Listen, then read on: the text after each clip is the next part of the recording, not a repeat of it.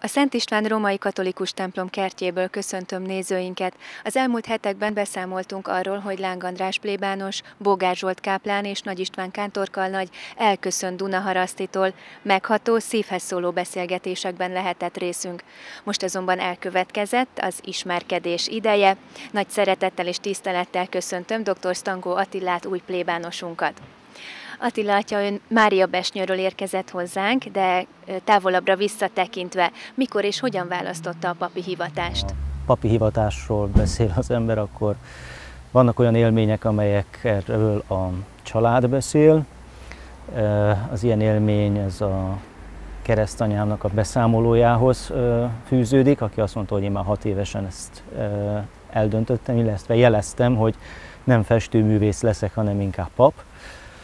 De aztán a ö, életemnek a papi példaképei voltak azok, akik inkább megerősítették ezt a meghívást, meghívást tudatot, és akkor így mondhatnám azt is, hogy azért kamaszkorban némi vívódás után, noha ezeket a vívódásokat nem ilyen szenvedésnek kell elképzelni, azért volt ott udvarlási időszak, voltak olyan dolgok, amelyek egy ideig jobban érdekeltek, de aztán eljött ez a pillanat, amikor az ember kimondta, hogy mégiscsak ez a szívnek a legbensőbb vágya, elfelé vonzódik a legjobban az ember.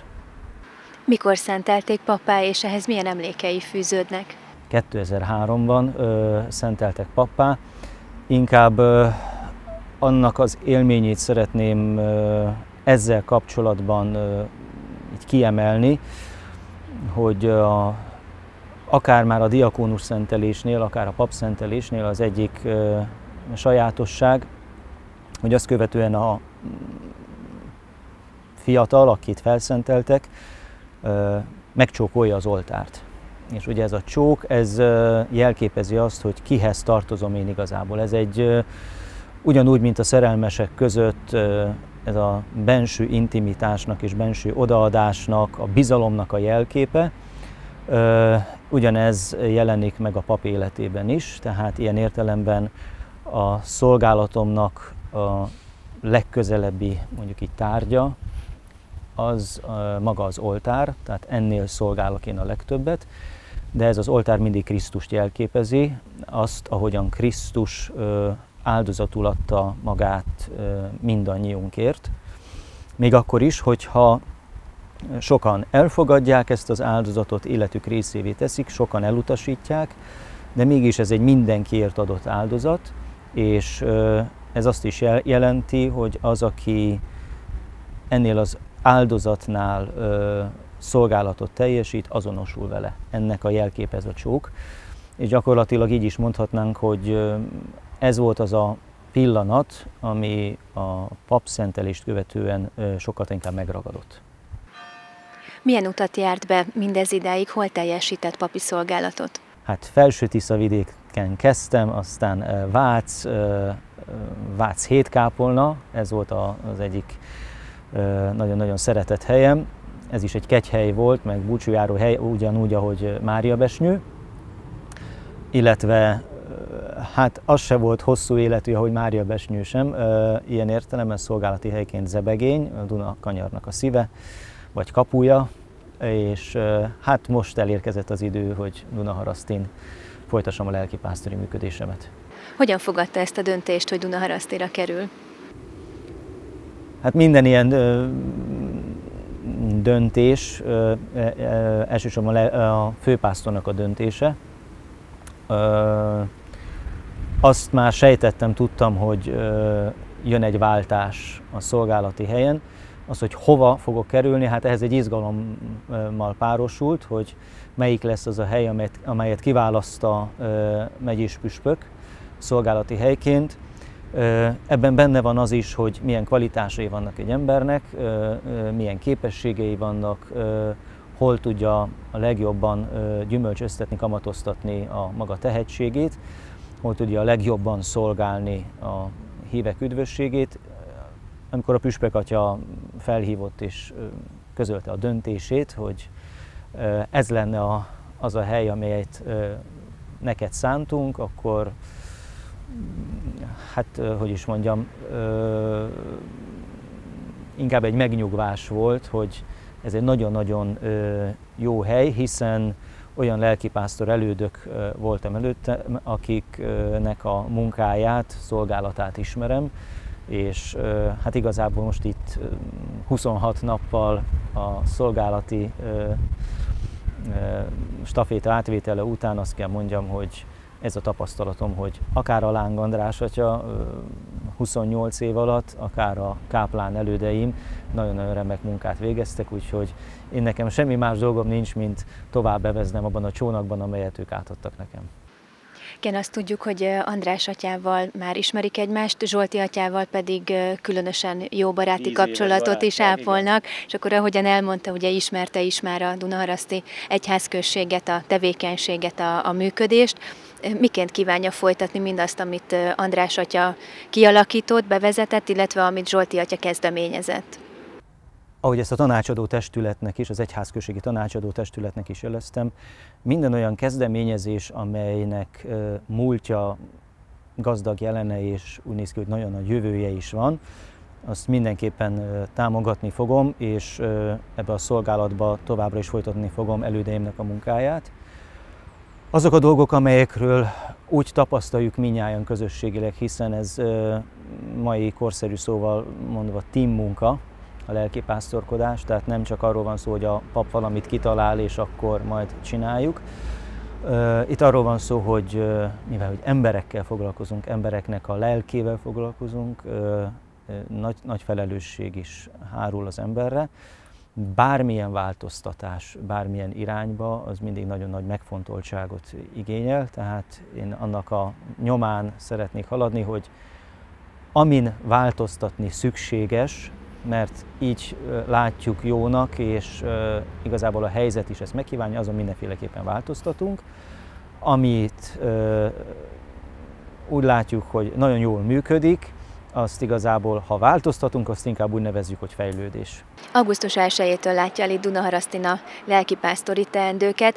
Ez az elmúlt közel egy hónap milyen tapasztalatokkal, milyen élményekkel telt? Hát minden hely más egy kicsit a maga a nemében, tehát ha visszagondolok a, az előző szolgálati helyeimre, hát Dunaharasztiról is el lehet mondani, hogy ö, teljesen különbözik a többitől, de ami nagyon-nagyon pozitív volt, az a baráti és mondjuk így nagyon szívélyes fogadtatás sokak részéről tehát rögtön azzal kezdték, hogy hát nagyon örülünk, hogy jöttél, és már megkezdődtek a, így a családlátogatások és a munkatársaknak, a legközelebbi munkatársaknak a látogatása. Nekem ez a lelkipásztori szem, szemlélet módomhoz hozzátartozik, hogy ne csak munkakapcsolat legyen a, azokkal, akik a szolgálatomban segítenek, hiszen igazából a lelkipásztor vezetője ennek a teamnek.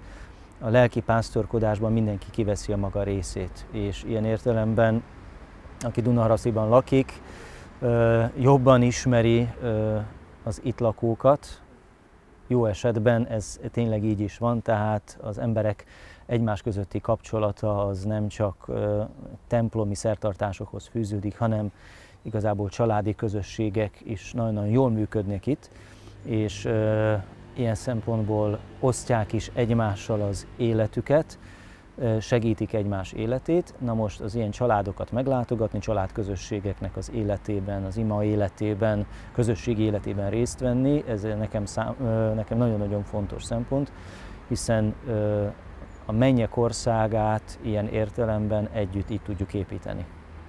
Tehát nem egy felülről diktáló módszer, hanem együttműködés, közreműködő. Milyennek látja a Dunaharaszti gyülekezetet? Hát ugye kettő is van belőle, tehát van a Rákóczi-ligeti, ami egy egészen fiatal, dinamikus közösség, amely közösségnek az életét nagyon-nagyon összekovácsolta az új templomnak az építése. Emellett itt van a nagy templomhoz fűződő közösség, amely a maga hagyományaiban nagyon erős közösség, Viszont itt is látja az ember, hogy mint minden nagy közösség esetében ez jelen van, hogy a hagyományok néha-néha megerősítésre, frissítésre szorulnak, illetve igényelnek igazából ilyen jellegű tevékenységet. Na most a káplánok, az előttem levő, ahogy itt mondják a kisatyák, azok már eddig is nagyon csodálatos munkát végeztek, úgyhogy gyakorlatilag ebben a mederben folytatom én azt a tevékenységet. Mi az, amit a leginkább fontosnak tart a papi hivatásában? A kiengesztelődés, tehát ez már Mária Besnyőn is megmutatkozott, a, mondjuk így a számomra is kicsi ilyen meglepetésszerű dolog volt, mert maga a hivatás az, az Úr megszólít valakit a papi hivatásra, és hosszú idő alatt kristályosodik ki, úgy igazából, hogy melyik lesz az a karizma, amelyik úgy igazában közeli az embernek a hivatásához. Tehát nálam azért, akik ismernek, azt tudják, hogy papi hivatásomnak kiegészítő elemei vannak, illetve azok a területek, amelyekben megélem a papi hivatásomnak a különböző szempontjait.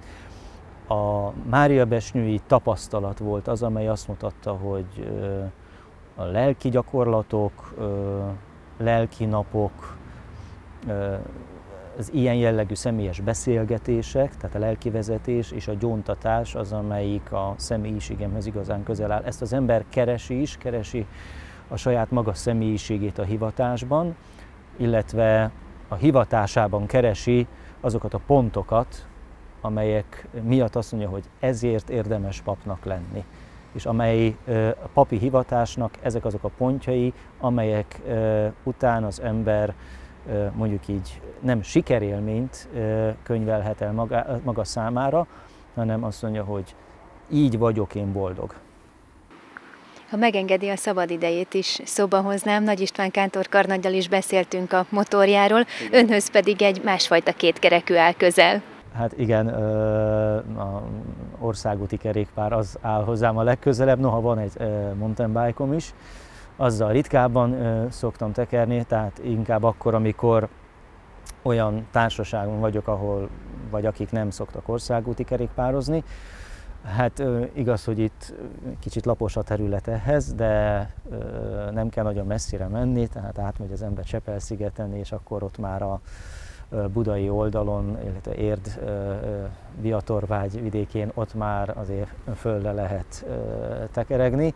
Ilyen szempontból egy nagyon-nagyon szép terület volt Gödöllő vidéke, tehát ott, ott erre nagyon-nagyon sok alkalom volt, tehát ott többször mountain bike ilyen szempontból. Itt, itt majd ez akkor fog sikerülni, hogyha lesz időm még átgurulni a szigeten is. Emellett szoktam futni is, noha egy kis balesetem történt, a nagy lábujjam az eltört itt a költözés során, de semmi vész, tehát járni tudok, és úgy néz ki, hogy egy-két hét, és akkor már visszatérhetek a futáshoz is. És hát egy külön öröm számomra, hogy ismét visszakerültem a Duna mellé, úgyhogy várom a lehetőséget, hogy lehozzam ide a kajakomat a csónakházhoz, és akkor ismét-ismét kajakba szállva a Dunán is tudja kajakozni. Köszönjük szépen a beszélgetést, köszönjük ezt az alkalmat, hogy megosztotta a gondolatait és a tapasztalatait velünk. Bízunk benne, hogy a jövőben még lesz alkalmunk hasonló beszélgetésekre, Köszönöm. és a Dunaharaszti Szolgálathoz pedig kívánunk tartalmas éveket. Köszönöm szépen.